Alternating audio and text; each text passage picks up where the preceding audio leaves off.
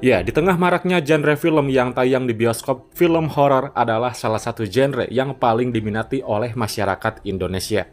Budaya dan tradisi Jawa semakin banyak menginspirasi cerita film horor, dan beberapa waktu lalu bioskop diramaikan oleh film yang bertajuk Paku Tanah Jawa. Film ini sebetulnya cukup menarik ya guys, yang mengangkat urban legend di sebuah lokasi di Jawa Tengah, yaitu Gunung Tidar, yang diproduksi oleh dua rumah produksi sekaligus. Juga hasil kolaborasi antara Indonesia dan Malaysia oleh Loop Entertainment bersama Armani Entertainment Studio, asal Malaysia. Oke, okay, let's talk about it. Di video kali ini gue akan review film tersebut. Tapi sebelum masuk ke situ, kalian simak dulu sinopsis film yang satu ini.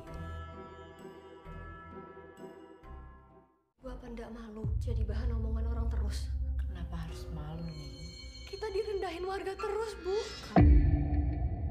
Ya, yeah, film Paku Tanah Jawa disutradarai oleh Bambang Rias. Film ini pun melibatkan sejumlah aktor ternama seperti Masayu Anastasia, Giselma Firmansyah, Ismi Melinda, Prit Timothy, Wanda Hamidah, Badriah Afif, dan Wafda Saifan.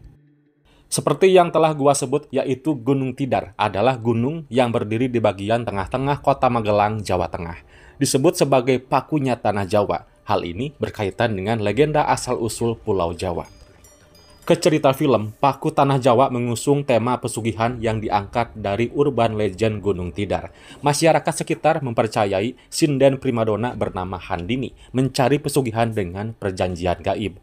Handini bersekutu dengan kekuatan gaib yang mengubah dirinya menjadi titisan ular.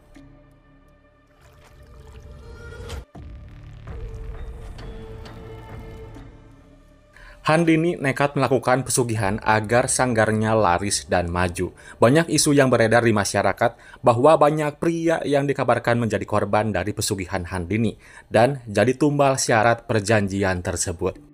Nah, karena gosip itu, Ningrum anak Handini sering menjadi bulan-bulanan warga. Apalagi hidup Ningrum semakin kacau setelah cinta rahasianya yang bernama Jalu justru terjebak menjadi tumbal baru Handini atau ibunya. Dan kini teror demi teror mulai menyerang Ningrum.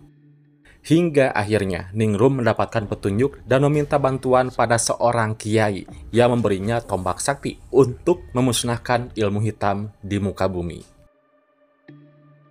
melakukan perjanjian goib dengan Seman. Melihat ibuku jadi jelmaan ular. Ada jin jahat yang ditugaskan untuk mengganggu sana.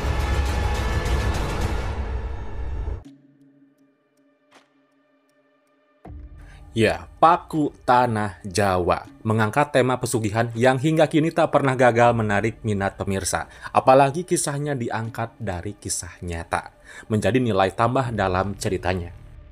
Elemen horor Paku Tanah Jawa memiliki jump scare yang berlapis-lapis. Ketegangan dan ketakutan menjadi euforia yang ditawarkan film ini kepada penonton.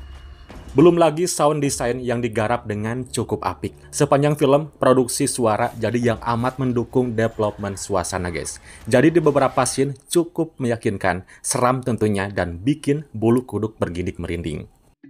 Musik memang menjadi salah satu elemen penting dalam film, terlebih mengingat film horor yang satu ini mengangkat budaya Jawa, yakni sinden yang identik dengan musik gamelan tradisional.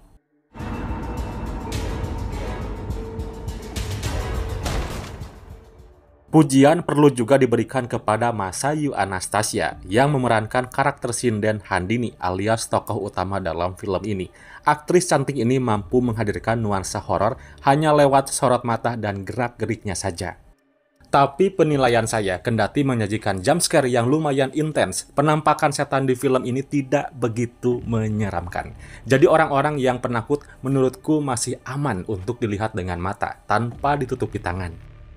Selain itu, sinematografi film Paku Tanah Jawa cukup mencuri perhatian. Pasalnya kita akan diperlihatkan beberapa lokasi di Yogyakarta yang indah sekaligus mistis. Dan pengambilan gambar film ini juga cukup patut diacungi jempol.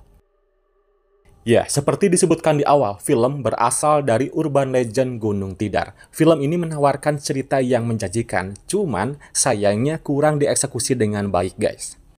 Eksekusinya, film ini bagi pendapat gua terlalu melebar. Beberapa subplot kurang bisa ditampilkan dengan baik. Kita tidak diperlihatkan motivasi tokoh utama dalam melakukan pesugihan. Kurang ditonjolkan di dalam film.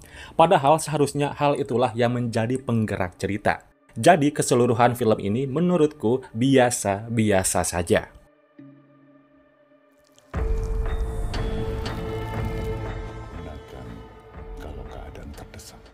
Nah, jika kamu pecinta film horor yang banyak jumpscare-nya dan menyukai cerita yang berkaitan dengan tradisi atau urban legend, film Paku Tanah Jawa tampaknya cocok masuk list kalian. Film Paku Tanah Jawa sendiri sudah tayang di bioskop mulai 6 Juni 2024. Masih tayang di bioskop. Kalau penasaran, boleh ditonton sekarang juga. Jadi itulah review film Paku Tanah Jawa. Ada yang sudah nonton, ingin tahu tanggapan dari kalian? Silahkan komen di bawah. Dukung juga channel ini dengan kasih like, lalu subscribe dan aktifkan notifikasinya. Oke Universe, thanks for watching and see you next video. Bye-bye.